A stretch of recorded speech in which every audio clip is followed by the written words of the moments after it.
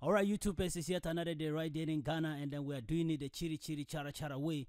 Today, I'm going to take you through how to install Ekattor School Management System 5.5, and that is the latest version right now we have, and have just extracted it onto my www folder. If you have been following my previous tutorials, I believe by now you should know how to um set up um, a folder in your htdocs or www folder to start installation of um in-app web-based application.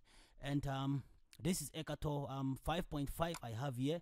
And I've created an installer which I'll also be uploading it on my blog. So you can download it on my blog to as well.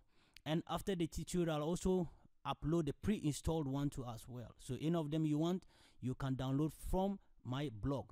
But as we always do chiri chiri chara chara, I've already created a database in PHP, my admin, which I'll be using for the installation. And then um now we are ready to set up um, our installation. So um our folder name is Ekattor, so that means I'll pick the folder name which we are going to use to start our installation. So I navigate back to my browser on the new tab. I have localhost, then the name of um my application folder, which is um Ekattor. So I'll hit enter to proceed with the installation process. So now we are loading the installation process and then boom, we are on our way to do the installation. So first of all, I saying that click start to proceed with installation. Then I hit on the next button and that is going to take me to my next step. All right, so every check is done. Files have been written so we can proceed with our installation. All right, so here we are supposed to provide um, our database um, um, details, which I have here as my database name, which is Ekattor um, which the database name is um, Ekattor 55, which is 5.5. So I have Ekattor 55, which is the database name, and my username is Avinash, and my password is already inserted. Then the installation is based on a local host, so I'll select local host. Then we hit on the next I'll continue button to continue with the installation, and then it's checking database to make sure that everything is okay, and database installation has succeeded. So we proceed with our installation of the application by hitting on install button and our application is ready to install important database and so forth and so on. So let's give it some few minutes and when it is done installing then i'll come back and we'll proceed.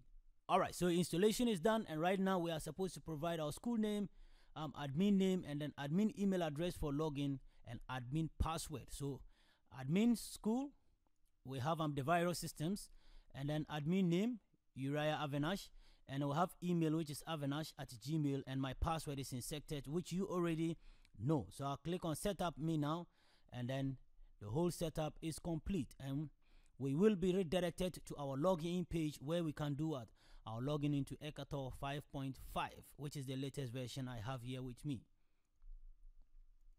So um we are logging into Ekattor and then boom we are there in Ekattor 5 so that is the latest version. So you can grab the installer on my blog or you can grab the pre-installer on my blog too as well. Any of them you want you can go with. So i have um 5.5 here. You can install on your local pc too as well. So stay tuned to my channel and if you like my videos subscribe to my channel like my videos and then leave comments as well as share too as well and invite others to subscribe to the channel. Someone somewhere is waiting to learn something from Da-viruz system. So do a favor and share around. Stay tuned till my next tutorial.